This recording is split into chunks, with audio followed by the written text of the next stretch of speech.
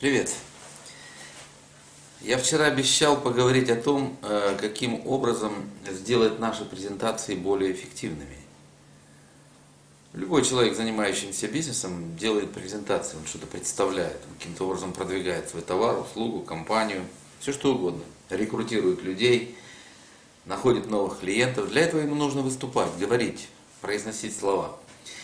И одна из очень серьезных проблем, на мой взгляд, состоит в том, что люди, наш брат-дистрибьюторы, зачастую стараться, стараются все усложнить. Это происходит по двум причинам. Вчера я говорил о о том, что некоторые люди искусственно формируют вокруг себя такую э, видимость э, э, избранности какой-то, доступа к каким-то особым знаниям совершенно недоступным для, для других. Они это делают из корыстных соображений. Вольно или невольно, может быть, э, продуманно, э, обдуманно специально, а может быть, подсознательно так, не, не осознавая этого. Но они формируют это вокруг себя, э, вот эту вот свою особую какую-то изощренную подготовленность специально из корыстных соображений. Но большинство людей – на мой взгляд, усложняют все для того, чтобы скрыть свою неуверенность, неумение, незнание или просто непонимание. Короче говоря, свой непрофессионализм. Э, умные, успешные, сильные, мощные, харизматичные люди, добившие, добивающиеся успехов в своих делах, стремятся все упростить. Главный принцип – упрощай все, чтобы было ясно. Это про... Вот у военных это совершенно очевидно. Если ты будешь отдавать приказ мямля, развозя на, на, на три часа и путано и мутно выражаясь, то ты, тебя просто пришибут вместе с твоим войском. Быстро, прихлопнут.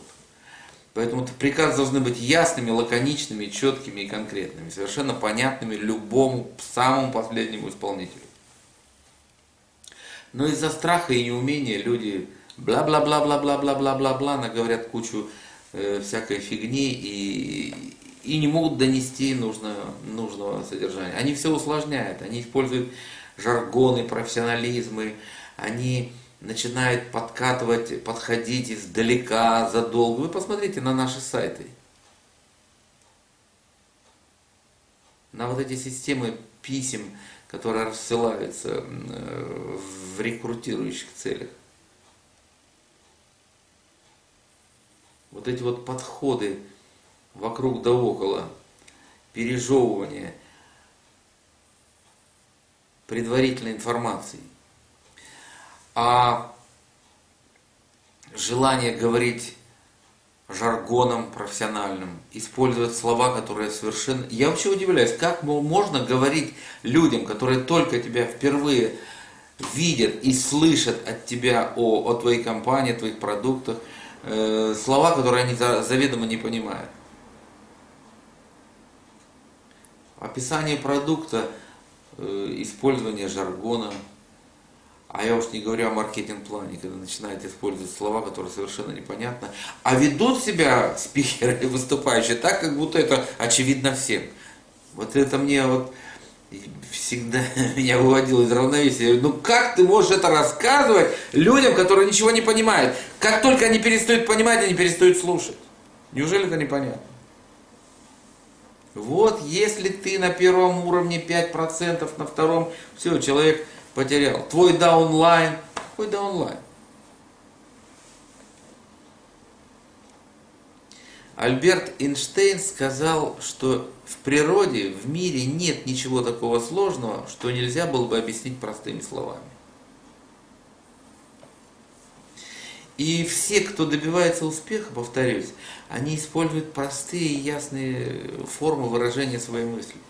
Они ищут, они используют три три таких момента, которые нам бы тоже надо было бы применять, конечно. Первое, умные люди, которые научились э, публично воздействовать своими речами, своими выступлениями, неважно, огромная аудитория или один человек перед тобой, они готовясь к выступлению, обдумывая, что они будут говорить, они стараются ответить на три главных вопроса. Первое, в чем фишка моего сообщения? В чем главное зерно? В чем суть? Это раз. Второе, они ни в коем случае не используют жаргона профессионального. Это два. И они рассказывают истории, которые подкрепляют их фактический материал. Это три. И вот если мы научимся это делать, у нас будет просто прорыв в бизнесе.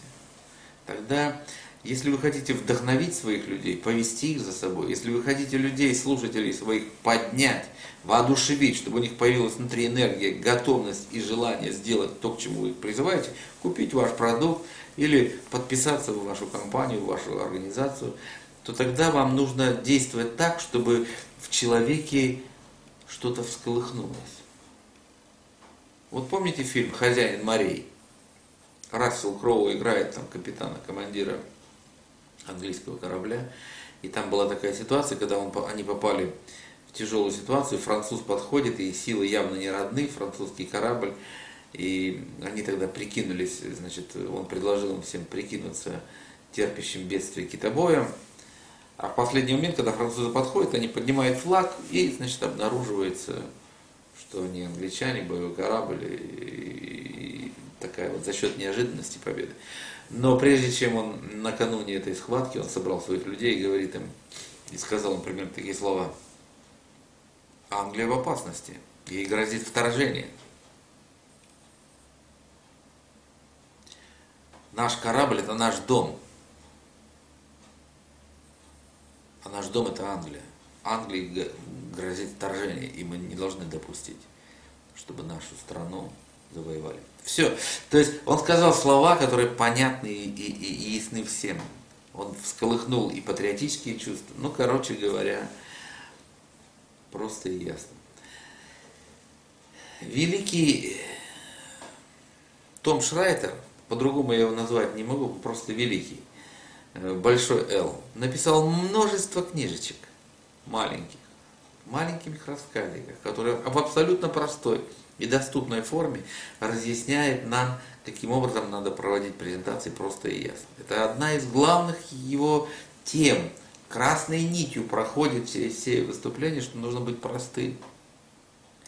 У него есть о том, как он водил своего дистрибьютора Джо на презентацию в соседнюю компанию и объяснял, почему у них не будет успеха. Потому что заунывную длинную речь спикеров просто невозможно было понять, особенно когда начинался рассказ о маркетинг-плане. Жаргоны просто убивают. Там я не помню дословно, но смысл, смысл такой, что когда вы становитесь значит, экзекьютивом на, на стадии голубой луны, то чтобы получить вам три диаманта, вам нужно, чтобы 15% с первого уровня, разделяясь на, на, две параллельные, на два параллельных потока, сходились в одном и на 13 уровне по 4,5% вы получаете влево и вправо, но это при одном условии только, если ваша левая нога значительным образом отличается от правой. И, и вот в таком духе.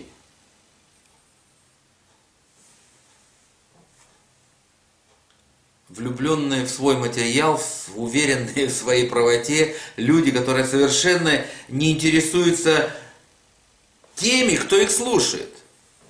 Что они думают, что они чувствуют, как они воспринимают. Он просто барабанщик. Бла-бла-бла-бла-бла. Отбарабанил и до свидания. Нахрен нам такие презентации? Зачем нам такие спикеры? А? Том Шнайдер говорит, я абсолютно уверен, я многие годы использовал этот принцип и всегда его использую. Человека, в принципе, когда мы ему рассказываем о бизнесе, интересуют три главные вещи. Что это за бизнес? Что это такое? С чем его едят? Что это? В интернете продвигать какой-то подозрительный интернет-продукт? А может быть хороший качественный продукт? Короче говоря, или может быть это баночки с таблетками для здоровья? Или может быть это косметика, а может быть это страховки продавать, или какие-нибудь добавки к бензину. Что это за бизнес? Раз. Второе. Сколько можно денег заработать? Что тут люди получают? интересует человека. Два. И третье, что конкретно делать, чтобы получить эти деньги. Что за бизнес? Сколько можно заработать, какие перспективы, какие примеры других людей и сколько денег можно заработать, э, и что конкретно я должен делать. Вот смотрите, как классно он приводит, э, какой классный пример он, историю приводит. Вот он говорит, в чем фишка? Фишка в том, что это бизнес вот такой, он связан вот с этим. Это понятно? Второе. Э, второе.